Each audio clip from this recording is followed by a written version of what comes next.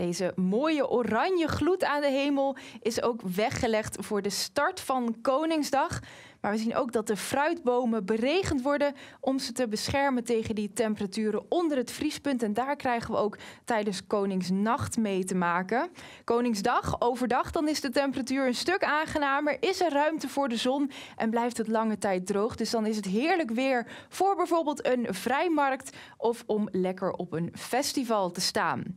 En even iets meer detail kijken naar dat weer tijdens Koningsnacht en Koningsdag. Want woensdagavond lost de bewolking op en maken we die overgang mee naar een helder weerbeeld. Alleen in het uiterste noorden nog kans op een buitje en wat stapelwolken. Vanuit het zuidwesten neemt dan de hoeveelheid sluierbewolking toe. Daar schijnt de zon eerst nog makkelijk doorheen. En pas helemaal aan het einde van Koningsdag in de loop van de avond zien we hoe dit regengebied het zuidwesten van het land bereikt. En in Groningen bijvoorbeeld, daar duurt het nog tot diep in de nacht totdat het gaat regenen.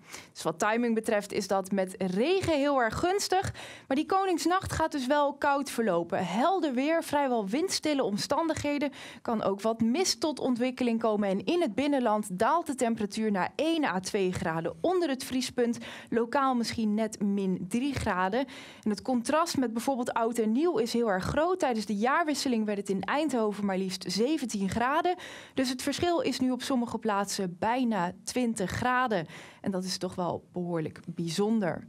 Nou, dan snel naar Koningsdag. Overdag in de ochtend dus veel ruimte voor de zon, maar dan vanuit het zuidwesten die sluierwolken die over het land trekken. Eerst schijnt de zon daar nog wel aardig doorheen, maar in de middag komen ook wat stapelwolken tot ontwikkeling. Temperatuur ligt tussen 12 graden in het noorden, 15 graden in het zuiden en zuidoosten. En dat komt omdat de wind is gedraaid naar het zuidoosten. Daardoor komt toch wat zachtere lucht onze kant op. Alleen in het uiterste noorden nog kans op een buitje. En helemaal in de avond dan pas krijgt het zuidwesten met regen te maken. Nou, dan nog heel even terugblikken naar Koningsdag in het verleden. Want vorig jaar hadden we tijdens Koningsnacht ook temperaturen onder het vriespunt. En was het smiddags 13,6 graden in de beeld. Dus dat lijkt wel een beetje op de Koningsdag die we dit jaar zullen meemaken. En we hebben slechts één keer temperaturen boven 20 graden gehad. En dat was in het jaar 2020.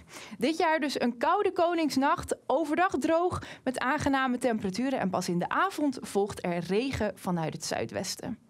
Dan wens ik u een fijne Koningsdag.